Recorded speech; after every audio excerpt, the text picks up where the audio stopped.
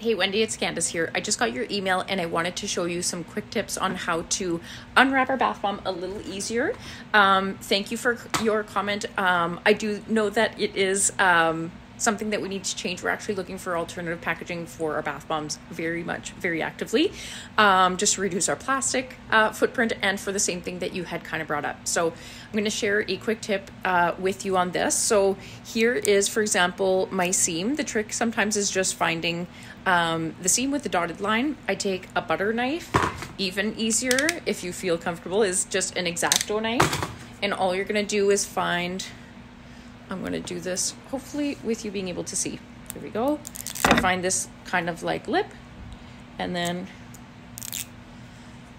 I just take it off here. I know it's not the easiest thing ever. The reason that we need it so tight is to protect the bath bomb from humidity as well as um, from damage during the shipping process. So that's why these are on so solid because otherwise it will alter the shape of the bath bomb kind of thing. So we had to pick one problem over another. So the easiest thing is find that seam and then take like a steak knife, a butter knife, um, or an X-Acto knife from your kitchen or whatever. And then eventually this baby will get unwrapped. So thank you for your feedback.